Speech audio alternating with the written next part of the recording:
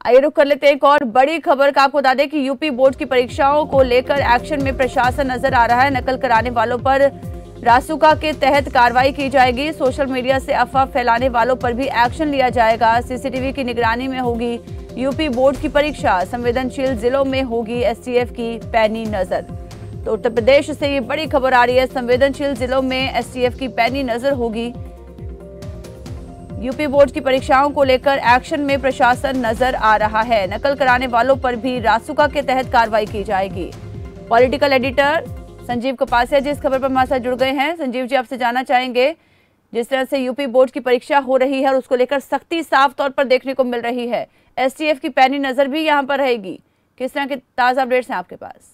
बिल्कुल, उत्तर प्रदेश के जो मुख्य सचिव है, दुर्गा प्रसाद मिश्रा, उन्होंने साफ़ तौर पर सभी ज़िले के डीएम्स को ये निर्देश दिए हैं कि पूरी तरीके से बोर्ड की जो परीक्षाएँ हैं नकल विहीन कराई जाए, पारदर्शिता के साथ कराई जाए और नकल कराने वालों को ये तमाम जो चीज़ें हैं जो पेपर आउट कराते हैं सोशल मीडिया पर तमाम तरह की अफवाहें वायरल करते हैं, उनके खिलाफ रासुका, यानी राष्ट्रीय सुरक्षा कानून की कार्रवाई की जाए। तो ये तमाम जो निर्देश हैं, इस तरीके के निर्देश, उत्तर प्रदेश की सरकार पूरी पारदर्शिता, ईमानदारी और बच्चों को एक एक चीज़ जिस तरीके की योग्यता बच्चे की है, उसके आधार पर मार्किंग हो ये चाहती है उत्तर प्रदेश की सरकार।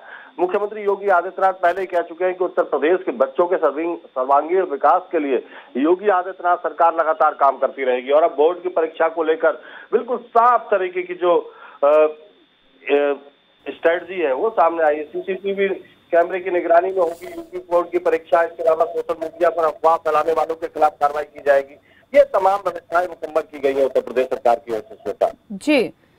तमाम जानकारी के लिए बहुत बहुत धन्यवाद संजीव जी। तो यूपी बोर्ड की परीक्षाओं को लेकर एक्शन में प्रशासन नज़र आ रहा है और किसी भी तरह की कोताही यहाँ पर नहीं बरती जाएगी। नकल करने वालों पर रासुका के तहत कार्रवाई की जाएगी।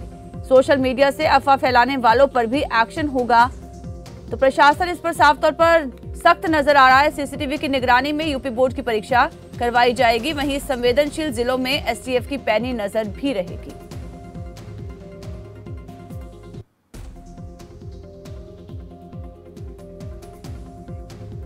सोशल मीडिया से अफवाह फैलाने वालों पर एक्शन जो है वो लिया जाएगा। उत्तर प्रदेश से बड़ी खबर आ रही है, जहाँ पर सीसीटीवी की निगरानी में होगी यूपी बोर्ड की परीक्षा। संवेदनशील जिलों में होगी एसटीएफ की पैनी नज़र।